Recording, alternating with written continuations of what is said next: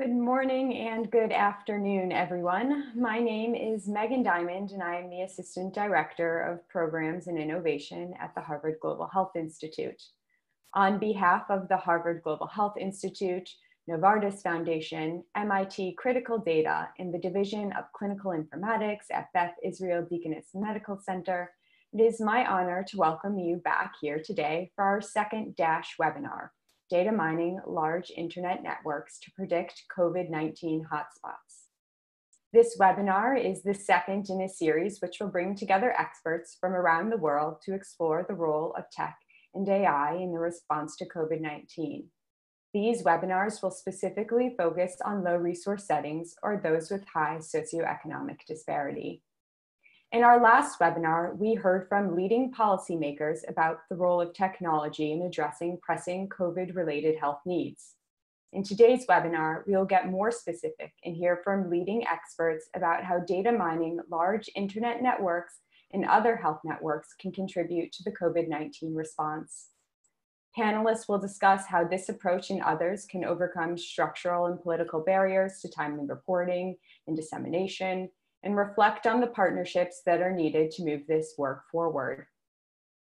It is with great anticipation that I introduce you to our speakers today, who will be reflecting on these questions and others within the context of the US, Asia, Africa, and Latin America. Dr. Jack Li is currently a distinguished professor at the Graduate Institute of Biomedical Informatics at Taipei Medical University and chair of the Department of Dermatology at Wan Fang Hospital. His main areas of expertise include artificial intelligence in medicine, patient safety informatics, medical big data analytics. Jack has dedicated himself to evolving the next generation of medical AI for patient safety and prevention and has been involved deeply not only in biomedical informatic projects in Taiwan, but also developed international collaborations, including in America, Europe, and Africa. Dr. Elaine Nsoesie is a computational epidemiologist with a passion for applying novel data and methods to global health problems. She leads a team of computational social scientists, public health experts, and computer scientists at Boston University's Department of Global Health, where she is an assistant professor. She's also a data science fellow as part of the BU Data Science Initiative at the Hariri Institute for Computing. After completing postdoctoral associate positions at Harvard Medical School and Boston Children's Hospital, Elaine joined the faculty of the Institute for Health Metrics and Evaluation at the University of Washington. Dr. Marcelo D'Agostino, Mr. excuse me, Marcelo D'Agostino currently serves as the Senior Advisor for Information Systems and Digital Health in the Department of Evidence and Intelligence for Actions in Health at the Pan American Health Organization and World Health Organization. He has held a variety of managerial positions there since 2008, including acting as the Senior Advisor for Knowledge Management and the Director for Knowledge Management in Communications, Bioethics, and Research. His experience includes working as a consultant at the Pan American Center for Foot and Mouth Disease in Brazil, a program analyst for the Pan American Institute for Food Protection and Zoonosis, and the coordinator of the Technical Cooperation Agreement between the Latin American Center for Health Science Information and the National Health Surveillance Agency. Lastly, this session is moderated by Dr. Yuri Quintana, Chief of the Division of Clinical Informatics at Beth Israel Medical Deaconess Center and Assistant Professor of Medicine at Harvard Medical School. Yuri's research focuses on developing innovative technologies and systems that empower communities of healthcare professionals, patients, and families. He has developed several award-winning global online and mobile collaboration networks that have had a transformational impact on healthcare delivery. At Harvard, Yuri and colleagues have created InfoSage Health, a family-centered private social network for supporting the care of older adults. He has developed Alicanto, an online social learning platform for health professionals that is used at leading academic hospitals and centers.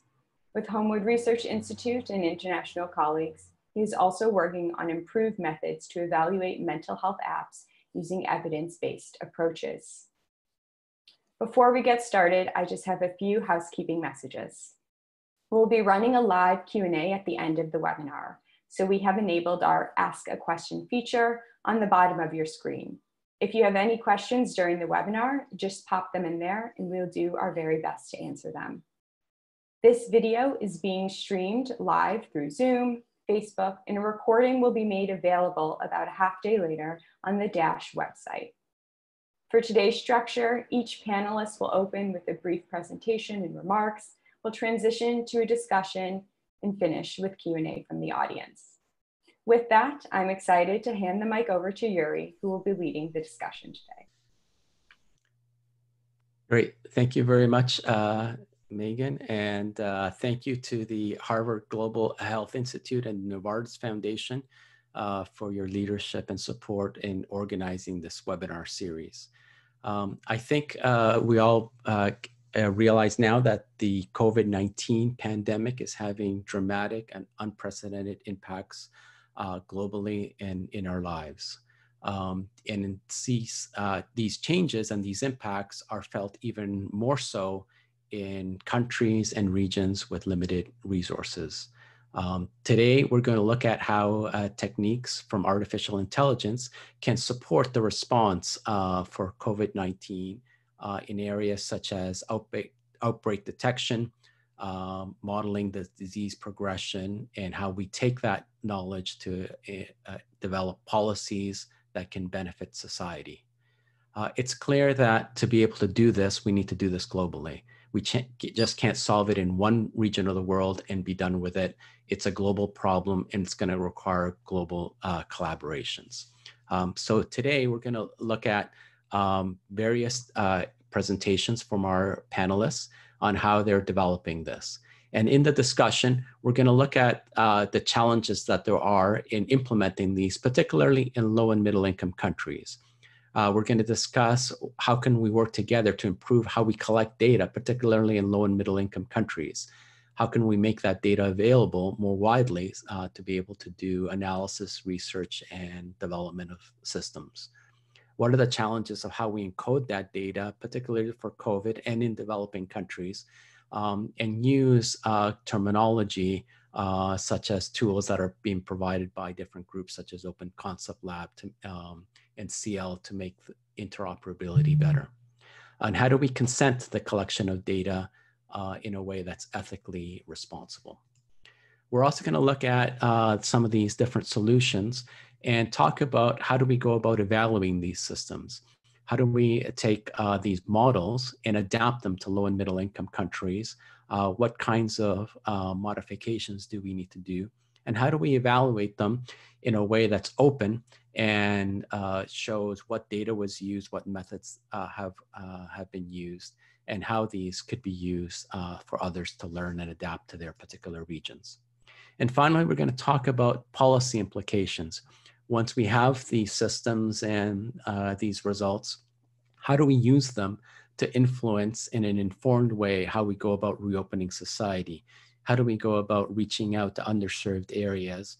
Um, and in particular, uh, we need to talk about whether this technology is going to benefit those regions of the world that already have uh, high uh, data and technology, or are we actually going to find cooperative ways to uh, implement systems to reach other parts of the world that have been underserved? And how can we work together as citizens, as organizations and institutes uh, to develop cooperative ethical standards in this COVID area? Now, we probably won't get around to all of these questions and there'll be many more from the panelists, but we hope that this session starts at this global discussion um, some that have already started in uh, on different consortiums, um, but that we learn from each other and find ways to cooperate to build scalable systems that are global and benefit uh, all of our societies. So with that, I want to um, uh, pass over the uh, presentation to Dr. Jack Li. Um, and I've known uh, Dr. Jack Li for many years, and he's done tremendous work around the world, and we've been co collaborating on various projects. Um, and uh, he's always at the cutting edge, and so it's a thrill to sort of have him share with us what his team are, are doing. Um, so Dr. Li, uh, please take it away. Okay, thank you, Yuri. Um, so I would like to start uh, by, by taking your attention to some of the papers that's published, um, like the one on the right upper corner, response to COVID-19 in Taiwan, big data and analytics, new technology, and proactive testing. This is published in uh, the 3rd of March in, in JAMA um, by Dr. Jason Wang from Stanford University. So if you're interested in what big data has been uh, put in use in Taiwan to stop the uh, to stop the COVID-19 uh, pandemic, uh, this will be a good starting uh, point. On the left lower corner, that's another interesting paper. That's how in Taiwan we use the mobile data uh, from the mobile network to trace 600,000 people that's actually uh, was in contact with a cruise ship called Diamond Princess uh, that, that has 2,000 people that they had a one day tour in Taiwan in the end of January. And three days later, uh, it was reported that there are several people on board that has COVID-19. So we, we use the mobile phone data network and, and look at all the, the people that they have in 100 meter contact with, with the 2,000 tourists, one day tourists and we end up having uh, picking up 600,000 people, and we vet them and screen them, uh, uh, and the results of the uh, uh, of all the the diagnoses were there. Um, on the left upper corner is the application of Google search trend for risk communication in infectious disease management, a case study of a COVID-19 outbreak in Taiwan. This paper was published from, from one of the faculty members in my lab. Uh, so we use this uh, Google search trend for risk communication It's quite clear in the title. On the right lower corner, this is one app that's used almost by everybody in Taiwan uh, that, that was originally provide a something called the uh, health, my health bank. Uh, in this my health bank, you can look at your personal health record and your EHR uh, for as long as past three years.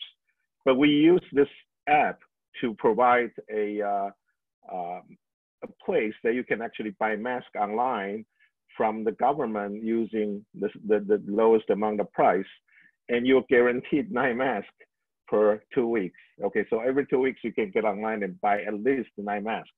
So we've never had a mask shortage problem.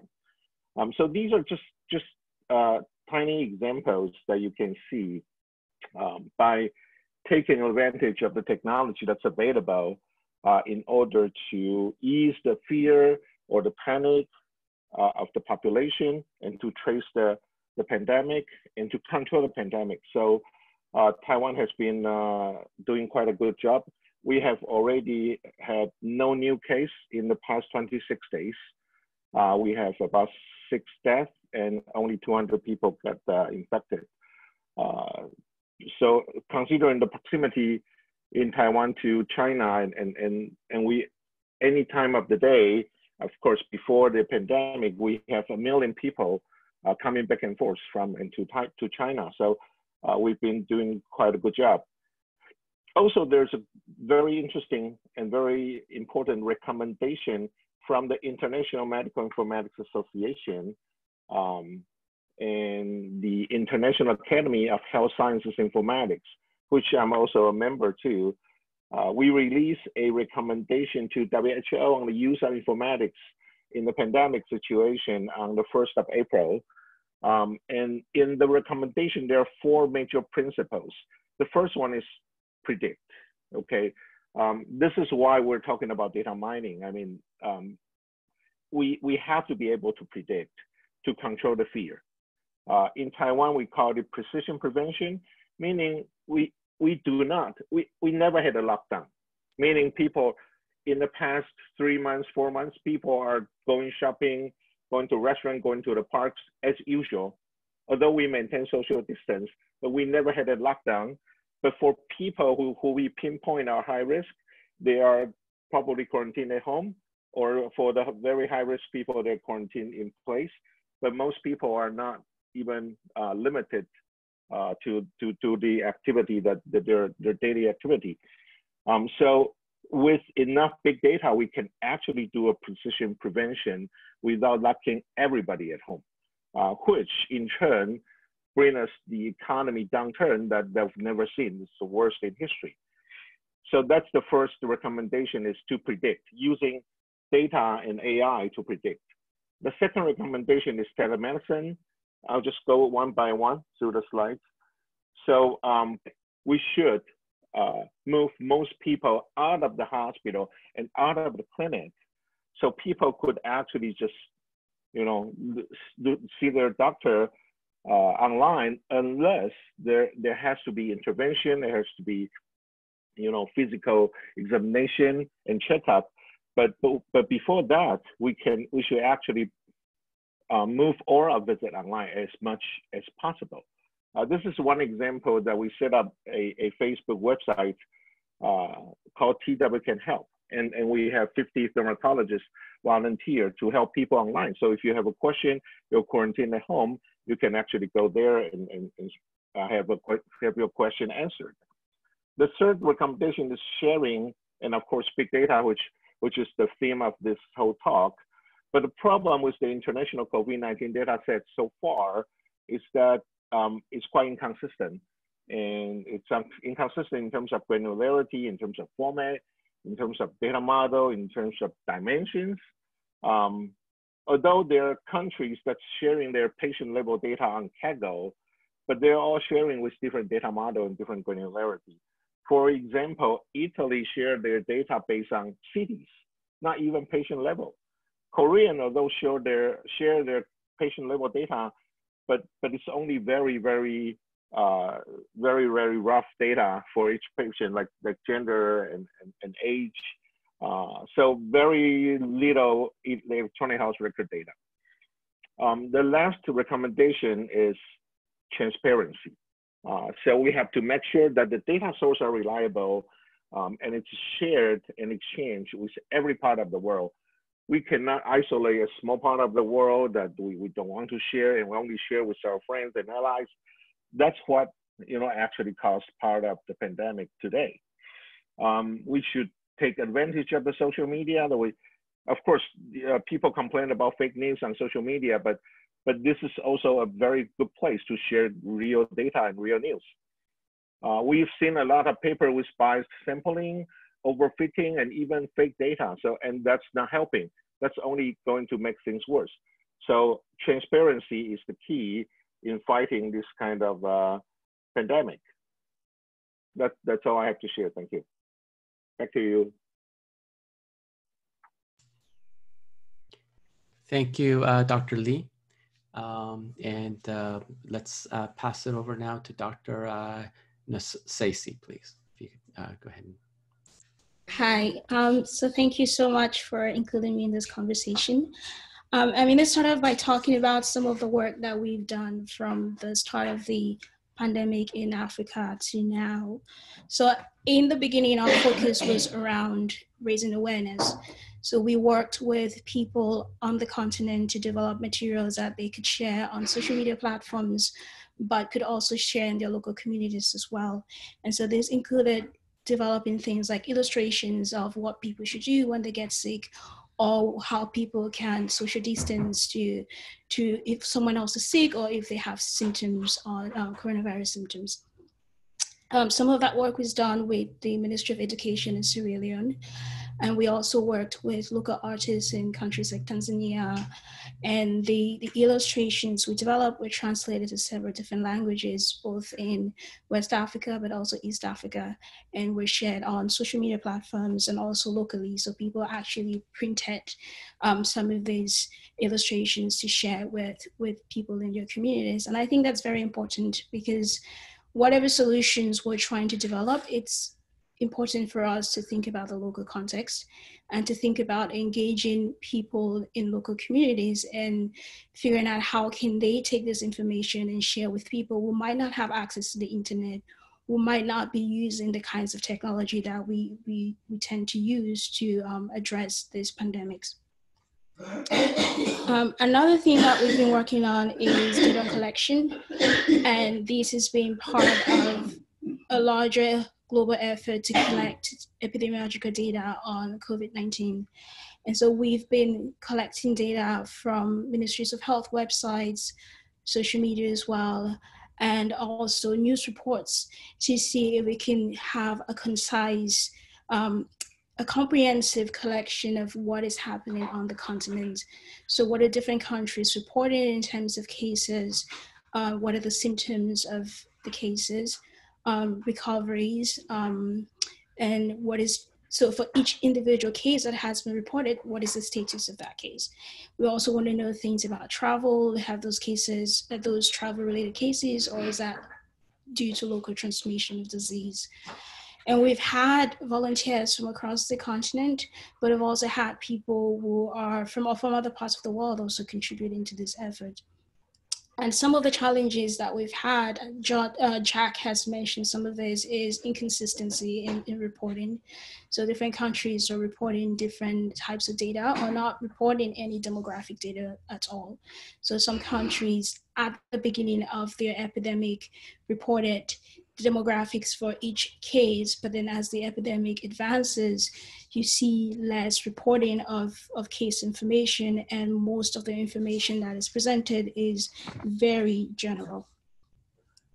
Currently, what we're looking at is how can we use data from social media sources for understanding information needs. So what are people searching for? What what do people seem to understand or not understand at the moment? And how can social media platforms be used for informing individuals? And also looking at misinformation. So what types of misinformation are spreading across different communities on places like Twitter, but also on WhatsApp. So what are people sharing? What are people as believing to be treatments for COVID-19, for example, and how, uh, what are ways in which we can respond to misinformation early on to stop its potential impact on the health of individuals in different communities across sub-Saharan Africa. Uh, I think that's all I have, so thank you. Okay, thank you so much for sharing those insights from, uh, from Africa. We really appreciate and we'll delve into this uh, more in the discussion. Um, I'd like to pass it over now to Marcelo D'Agostino uh, from the Pan American Health Organization to share um, his insights. Thank you very much, uh, Yuri and colleagues. Good morning, good afternoon, everyone. So I will pass a little bit uh, the information about uh, the situation in the Americas. Uh, until today, we have 1.5 millions of confirmed cases uh, in uh, 54 countries, areas, or territories that we have uh, in the Americas. So I will focus on the challenges. Um, the first thing, uh, and although it's a, a, little bit obvious and everybody knows that, but we need to have a clear understanding that pandemics do not spread uh, among different populations in the same manner. Uh, and we need information to identify and to characterize the factors that, that slow or accelerate the transmission, uh, in particular in the most uh, vulnerable uh, uh population. Let me, let me start my video. Uh, there is a problem with the connectivity uh, here. So, so, and therefore, one of the initial challenges that I want to highlight, and I am sure is same in all the regions, is how to collect disaggregated data. This is what we need uh, today. Uh, but uh, together with that, we have an additional challenge that I want to put also on the table to see if also if there is the same situation uh, in other regions is uh, about the challenge that we have with small countries and territories because we have small numbers and having small numbers may affect uh, predictions and modeling but at the same time, those are the countries that are needed uh, strong recommendations on how to strengthen health systems now, uh, but in particular, uh, looking at disaggregated data is the issue of connectivity. And this is a region in where we have 25% uh, of the Americas is uh, without internet connection, so the key question is how to collect data and good data or quality data in situations in where we don't have any connectivity at all. So how to lead with that situation, and, and, I, and I like the previous speaker that they mentioned that they were working with education because sometimes uh, countries that they have a lot of big territories in the Amazonas, for example, they share connectivity between schools and, and primary care facility. The other uh, big challenge that we have is in relation to the concept of openness. Now more than ever, we need to have open data, we need to have open content, we need to have an open science. Uh, but we are still facing some situations related to that. Uh, we need to have everything as much as possible solution must be open source. Um, but it's not so easy uh, to get that, uh, at least in our, in our region. Um, another thing that, that, that seems to be a simple issue, but is, is extremely important, and, and what we do in the Americas is we have uh, different groups with all the heads of digital health and information systems across the America, in where we take every morning what are the needs, what are the challenges, and what big challenge is for the people and health workers to understand the power of, of the technologies because everybody thinks that they understand everything, but there is a huge potential uh, if we can uh, understand much better, not only technology per se, but the situation that we have here is that we also need to uh, complement these activities with some education uh, and some communication campaigns, uh, because we, uh, at the time that we say we need to do tele everything, teleconsulting for everything, uh, it is not as simple as that, that every single person from one day to the other understand how to use that technologies and for what purpose. Uh, for example, we are now working with experts from four collaborating centers from WHO in a very single document, but critical one, that is what is possible through teleconsulting, but what is not possible. Uh, because this is a recurrent question that we have almost um, every single day. And, and finally, uh, I want to raise an issue that, that was discussed also by our headquarters people in Geneva and was mentioned by the first speaker is about the, the infodemic.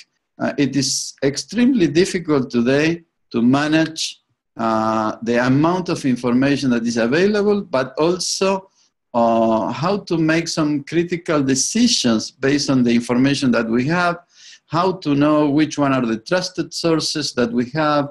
Uh, people say, okay, it's good that we have fact-checking website, but not everyone understands what is a fact-checking website.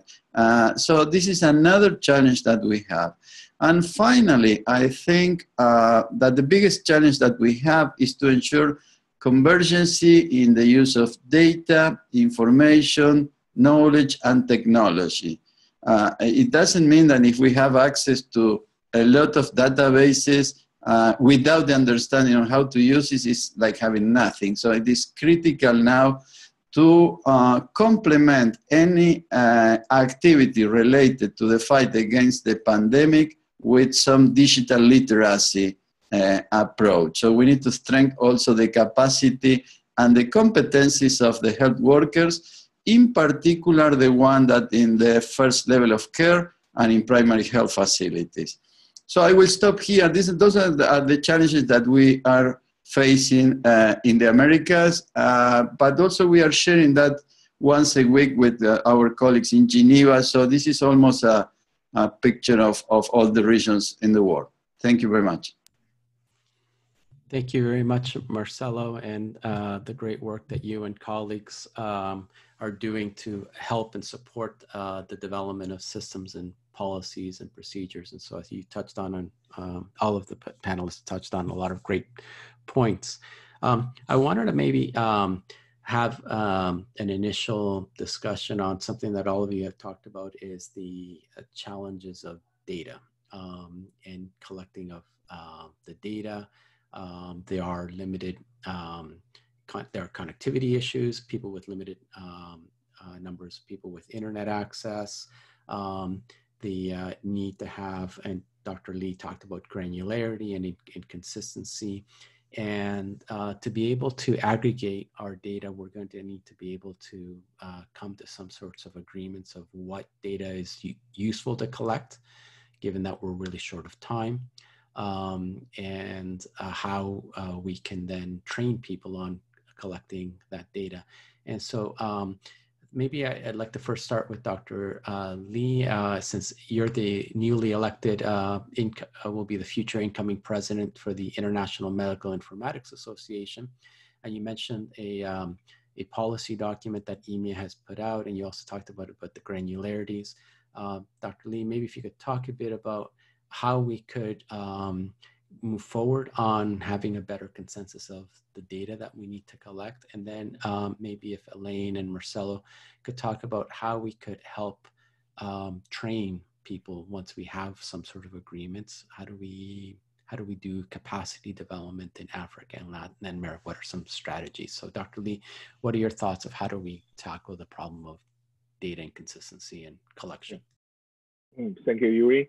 Um, well, actually, based on our, our experience in back in 2003, when we had SARS, which is also a type of coronavirus, 17 years ago, uh, now we are going back to dig up this old data set 17 years ago, and we found out we did not do a good job in terms of collecting the data, not to mention the consistency, the granularity, the depth, the dimension, we did not even collect um, a whole range of data about the SARS patients uh, because back then, like many countries right now, our health system were overwhelmed um, by by the patients, by SARS patients.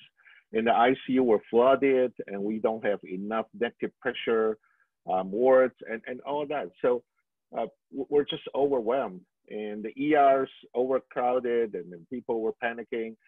So, so we did a very lousy job in terms of collecting electronic health record for SARS patients. So the data become, you know, uh, fragmented uh, and, and, here and there and inconsistent as well. So, uh, so now we are facing COVID-19. Um, and there, there, there, there are experts saying that we're not able to use AI to actually help COVID-19 right now. But next time when the coronavirus came back, we might have some AI that we can use because current AI are mostly based on machine learning and machine learning based on good data, big data. Um, but again, when we are when we are looking at some many countries of the world, uh, the hospitals were still overwhelmed and things are not documented uh, and they're running out of ventilators, they're running out of drugs, they're running out of nurses and doctors. So if we still do a poorly documentation, we'll never have data to learn. So next time, COVID-19, COVID-20, 23, 24, when, when it comes back, we still don't have good data and we will overwhelm again and, and the old story will repeat itself. So, so I think we should start by doing a good job in terms of documenting um, all the, the patient that we have. And, and then we can start by uh, sharing data, sharing data model, uh, and, and, and you know, allow more open data for people to do research upon. Uh, but, but I think now we what we really need to do is to tell all the countries in the world that please do a, a good job in terms of documenting the data and, and share along the way as much as we can so we can take advantage of the data, we could, we could utilize the data and develop models that could help us right now, not in the next time. Because if we're looking forward to the next time, and, and, and if there's next time, unfortunately, we're not going to, to, to be able to use the data now because we're not paying attention to the collection and the quality and, and all the standards right, um, of the data that we're collecting. So, so I think what we should be doing now is really we should pay attention to the documentation of, of all COVID-19 patients and the linking to the to all the lab, to the exams, to the past medical record, to the electronic record that the, patient has. And we should pull together a, a, a like GenBank. I, I like to use the example back in the year 1990s, uh, the world is trying to do the genetic mapping, the genome map, the human genome project.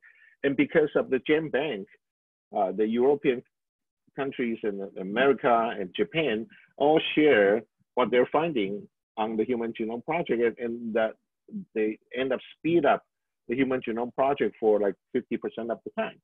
so I think that kind of spirit is something we can use.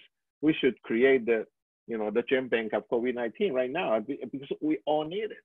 And, and if we don't need, if we don't use it now, we're going to use it in the future.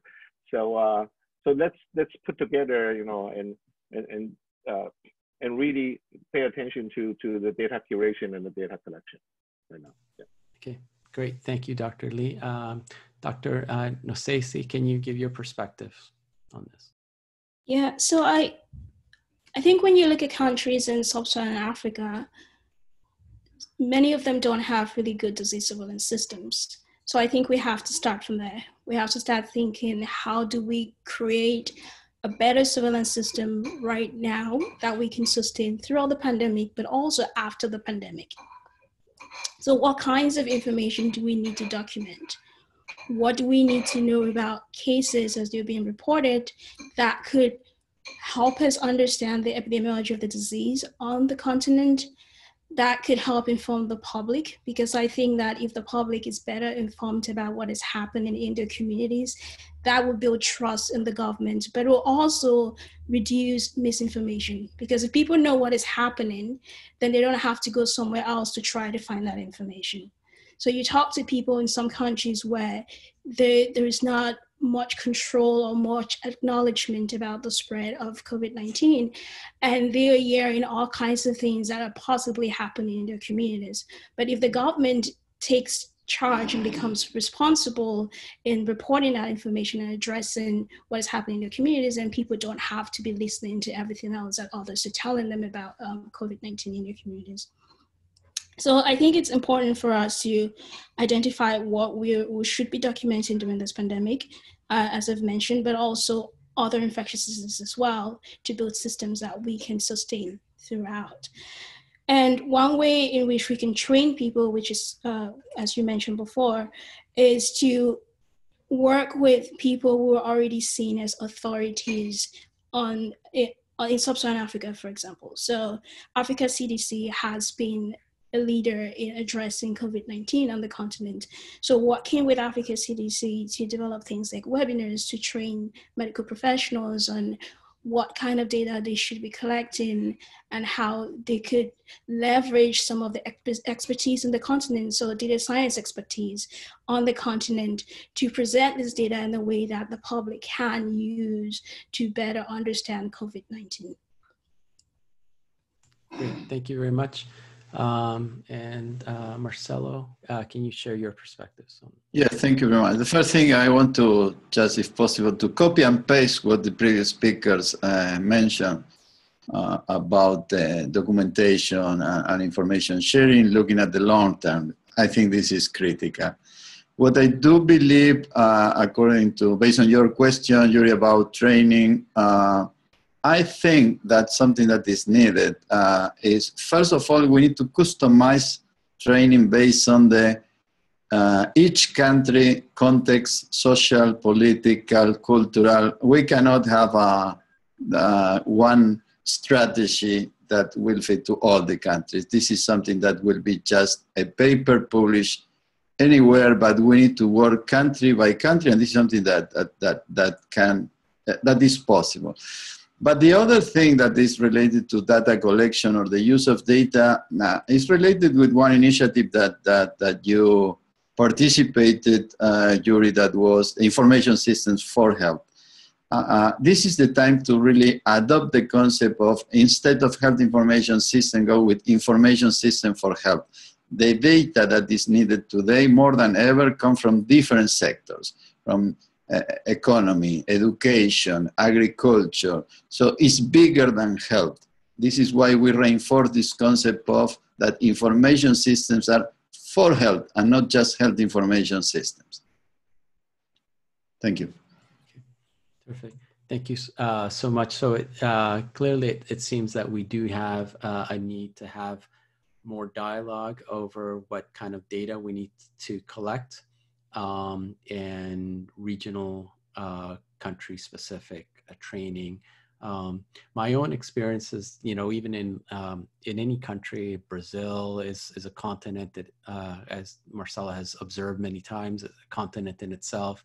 um, many countries have uh, great uh, differences and disparities. So urban centers, capital centers have more resources uh, than others. And so how you train the rural uh, counties will be will be different. So not only country by country, we may need to have, you know, region by region as well uh, to be able um, uh, to do that. Um, and I think um, some of the projects that I've been involved, we sometimes have collected too much data and people don't have enough time. So I think the, uh, the organizations that you represent, um, International Medical uh, Informatics Association, um, the CDC, uh, PAHO, WHO, um, the American Medical Informatics Association, and, and institutes such as the Harvard Global Health all have uh, something to contribute. And I know there's a lot of dialogue going on, but if we can connect the dots and try to reduce duplication of effort, I think it'd be great. And so um, um, I think this is uh, helpful to, to learn more about um, uh, your uh, your organizations. Uh, I want to talk a little bit about um, something that was uh, mentioned a few times, and that's sort of the misinformation that there is. And we, we have sort of another pandemic in this pandemic of misinformation, um, which sort of creates a lot of fear, mistrust, confusion. It's hard um, uh, to do that. Um, and um, Elaine talked a little bit about sort of um, uh, strategies that they've done in terms of social media uh, um, to, to uh, data mine questions and concerns. Um, and so while there's also the breakout of the disease, there's also the breakout of fear and despair and things like that. And so um, I'd like to sort of talk a bit about sort of how we can use uh, data mining to um, look at social media. Um, and then what are the strategies that we can do to sort of fight that uh, that are country specific and um, um, perhaps we'll start with Elaine. Um, if you could maybe um, share with us a bit more about your insights in from Africa uh, on this topic, uh, and then maybe we'll go to Marcelo in Latin America, and and Jack, we'll go to you last because I think Taiwan has had the experience of SARS, and you're you're more advanced. You've you've been through this a, a few more times, so maybe the challenge is not as great here. But let's start with Elaine. What what do you view as an effective strategy um, uh, for dealing with the uh, misinformation pandemic? I think having authorities respond to misinformation in a timely manner is one way of addressing this. So, WHO and other um, organizations like Africa CDC have the power to say this is untrue and people will actually listen to them. But that also means that people have to have access to this to this organization, whether it's via social media or via websites. But that's not always true in many local communities because not everyone is going to this. Not everyone has access to the internet, or maybe it's too expensive for them to be spending time on the internet. So we have to think about local strategies. How do we have um, how do we use local mediums of communication to inform people about coronavirus? So, how do we spread true information such that when a misinformation pops up, people are able to identify it as misinformation because they've been educated enough on what coronavirus is and what its symptoms are, what the treatments or what is being done about vaccines at the moment, such that when something false comes up, they can respond to it. And this can be done through radio, local radio stations.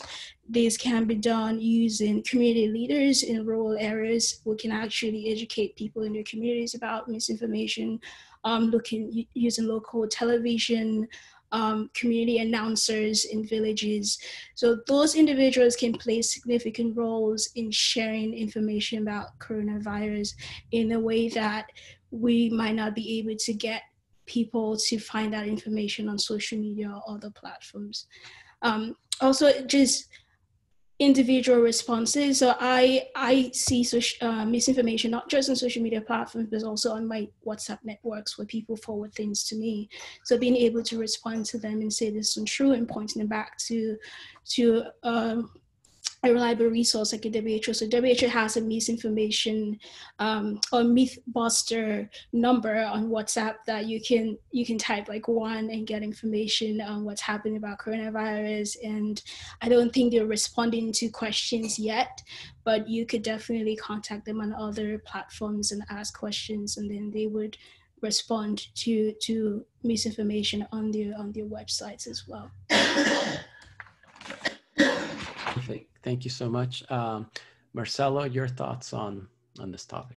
Yeah, thank you, Yuri. I, I think you raised the, the, the, billion dollar question, no? because uh, uh, the infodemic, um, another concept like infoxications and all of that are before the pandemic. Um, uh, uh how to find a solution uh, in something that was created by definition, the web is a chaotic space with no strong regulations in where I can put whatever I want. There is no accountability. So how to control that is extremely complex because sometimes uh, imagine that we have only 50 websites in the world and I say, and I will develop one that will solve the problem. At the end, we have 51 websites. So we need to, uh, maybe it's time I think that the solution is a long-term solution. We need to start educating people since they are in primary schools about how to search, how to understand uh, critical and trusted source. And then one day we will have that in place. But I don't think that we will find a solution right now uh, because there is no strong regulation that can be applied. There is no accountability. But what I do believe is that we can play a critical role uh, through social media, social networks, uh, because more and more people are trusting what other people who you trust are reading or are publishing. So this is a good way to be informed. People are using that today. Uh, we did an analysis and we published a paper with, uh, with uh, dengue, Zika, and chikungunya and we discovered that if one epidemiologist want to read what was published in six months, you need to spend 50 years without sleeping to consume everything that is published. So it is impossible to control. But I think that through influencers and social networking, at least we can accommodate a little bit what to read, how to read, when to read, and, and, and what to share, because we all believe that everybody's doing and infodemia except for us. So we also need to be part of, of the solution. Thank you so much, Marcelo. And Jack, uh, your views on the topic. Okay. Um, I think one of the most important um, uh, point um, is to control the narrative, uh, meaning the government uh, has to really put themselves in a position of controlling the narrative. And in, our case, uh, we have a live broadcast every day in the afternoon from two o'clock to three o'clock, sometimes one hour, sometimes a little short, a little more. And it's always hosted by the Minister of Health. Um, he will detail what happened today and how many cases and why should we wear a mask, why should we do this, why should we do that, and, and also, uh, the paper that I mentioned in my first slide, published from Taiwan, from our institute in the International Journal of Infectious Disease, actually detail how we use Google Trend to know what our people is worrying about. So uh, in the initial period, like in January, people, all the people search for is about mask, where to buy masks, right? So so, uh, and then after that, people worry about what are the things that they use to wash hands. Okay, do they, you know, then certainly there's a shortage of 75% uh, alcohol, which we never have a, a shortage of. Um, so that social network is quite important to know what your people is worrying about. Um, and because of the, the very deep political and economical implication uh, uh, of this, this disease, this pandemic, uh, we cannot expect all the governments uh, to be really, really transparent all the time. Um, as you can see, some of the governments struggle with transparency. Uh, so, so I think uh, it's very important to to have common sense of judgment, like like the other panelists were, were mentioning.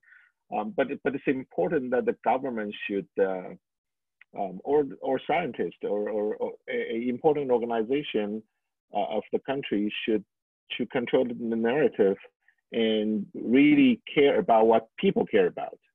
Uh, and I, I, don't think it's it's prudent. Uh, like some country, their president will go on the TV and say which drugs very effective. That that's not that's a kind of a out of control narrative. People just go on TV and and, and do whatever say whatever they want. So that's bad. So we should have a a, a place, a center, like an anchoring. Uh, you know, people are now now listening to this this afternoon broadcast every day, and that kind of calm them down and make make them you know more compliant and more more cooperative in terms of uh, controlling the pandemic.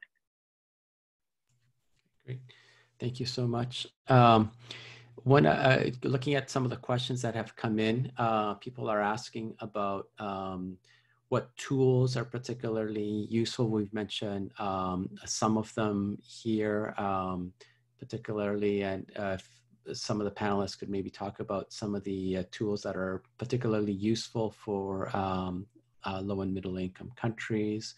I know that there are, um, you know, open source tools. Um, DHIS is one tool for aggregating data, CommCare and others.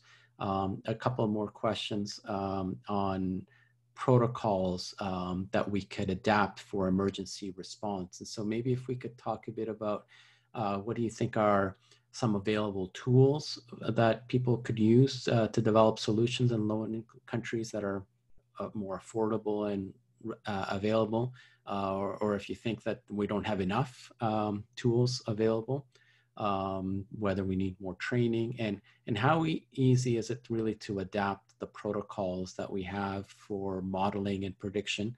The, mostly have been done in higher income countries, how do how difficult is it to adapt those models um, uh, for low and middle income countries? Um, and so maybe let's start with maybe with Jack, if you could talk a bit, and then go to Elaine and, and Marcel. Okay, I can talk a little bit about um, how to build a model, even you don't have um, all the data and, and, and a lot of computer scientists and, and a lot of tools in, in the low and middle income country uh, you know, one way we, we, we, do we do have an example that we participate in the MIT COVID-19 hackathon. We review all the papers um, that have the risk factor and odds ratio of each risk factor for people that would be at risk for COVID-19. So you review all the odds ratio and you can easily plug in the odds ratio into any tools that, that compute odds ratio. Okay, there's just so many of them online or, or their apps. Or you can develop very simple apps, or you can use Excel. you know, as simple as Excel, you can you can actually plug in all the numbers you collected from the, uh, reviewing the papers, the papers that you believe that that that's more uh, a well-respected journal and stuff like that. And you can create a model to stratify the risk of of each person in your city, in your country, in your village, um, in terms of the risk of getting COVID-19. So this is just one example that you don't actually have to have an army of scientists or data scientists uh, and an army of computer scientists in order to make it useful, uh, a useful tool. So, so I think uh, it's probably not, not a specific tool like you have to have SAS or SPSS or any other specific tool that you have to buy. Uh, any any simple computation tools with the right plugin of knowledge, plugin of numbers. Uh, it could be a useful tool for, uh, depends on the purpose uh, of things that you want to do. So, so my example, you know, for the limited time we have, is to build a tool that will predict the risk of the people contracting COVID-19. So it's not just age, gender, comorbidity, environment, uh, lifestyle, and, and habit, and all that, right? So um, so I think you don't you don't really need a lot of resources to, to, to do that. Okay. Elaine, would you like to comment on that? Yes. Um, so to to build on uh, Jack's comment, I think it depends on what you want to use the tool for. So, what is the purpose and what are the questions are you trying to answer? Um, so, in sub Saharan Africa, you want to think about demographics. Uh, we know that the demographics in sub Saharan Africa is very different from what we have for the rest of the world. Um, the median age is 19 years old, which is very significant, different from what you have in Europe or in, in um, the US. You also want to think about social distancing when you're modeling as well. Um, what does it mean to implement social distancing in this in this context, and what does adherence look like? It's definitely not going to be the same uh, compared to countries where people have more resources or are more likely to stay at home because they have access to resources. In some of these places, people have to work daily to make money to feed their families. And so adherence to social distancing or lockdowns is different. So that's something that you have to think about when you're modeling something like disease transmission. Um, but I think the most important question to ask is what will be most useful in this context? So what is the most need at this moment? Um, should we be looking at hospital resources? Should we, should we be looking at maximizing testing resources that are limited in some places? Um, should we be looking at economic impacts of the virus? Um, how would that lead to more um, how would that have, lead to a more severe impact than the virus itself, than the number of cases that, that we're seeing? Or should we be thinking more about maintenance of services for non-COVID diseases? So we know that as the number of cases rises in, in a lot of places, people are seeking less, um, seeking less medical care for other conditions. So how would this impact countries in sub-Saharan Africa, for example, will we have more people dying from malaria because you're not going to hospitals, either because you don't understand that they can still seek care for those conditions um, because of COVID, or maybe the resources to address those other um, diseases currently don't exist. And one other thing that I think is very important to think about, and I think about this when we think about misinformation, is fake medications. So there's likely to be a rise in fake medications as people are trying to treat COVID in these countries. So can we develop tools? And I think AI would definitely work in this in this situation because there are already startups that are addressing this, like um, TruSpec Africa looks at how to identify fake medications using AI. So I think that's something that people can be thinking about. And there are other questions that we should be looking at rather than just projecting the spread of COVID across countries.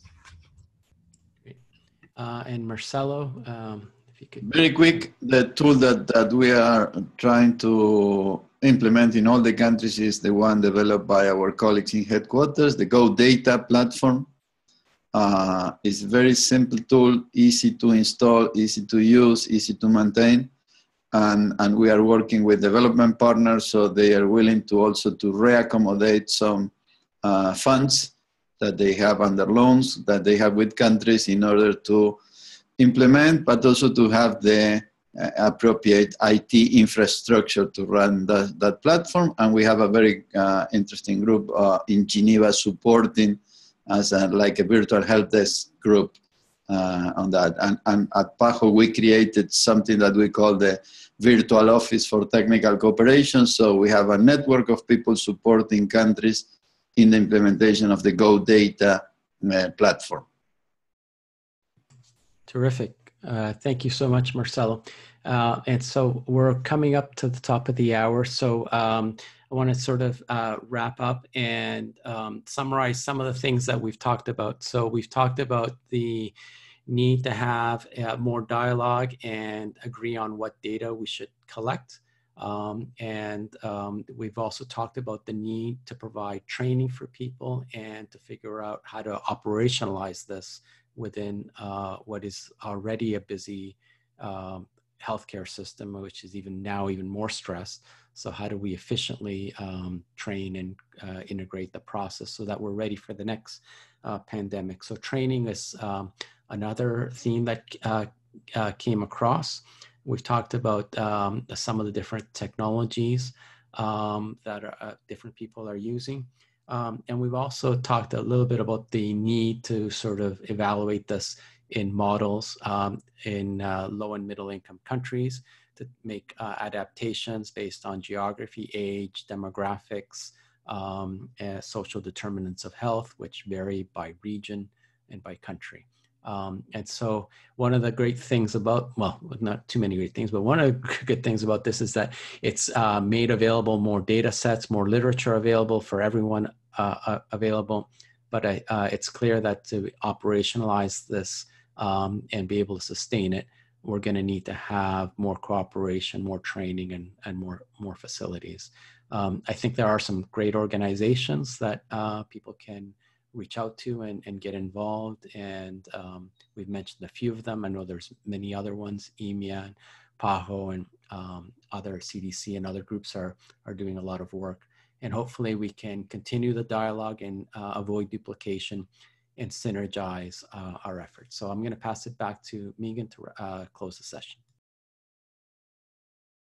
Great, thank you so much, Yuri. Uh, this concludes our second Data Science and AI Summits for Healthcare webinar. Uh, many thanks to our panelists, Elaine, Jack, Marcelo, and Yuri for joining us. In such uncertain times as these, it's really comforting to know that this set of esteemed panelists are thinking critically about innovative ways to tackle COVID globally. To our audience, thank you for joining us again and submitting thought-provoking questions. We hope to see you on our next webinar, for which details will be forthcoming on our website and social media platforms in the next couple days. Have a wonderful afternoon and evening, and take care of yourselves and others. Goodbye.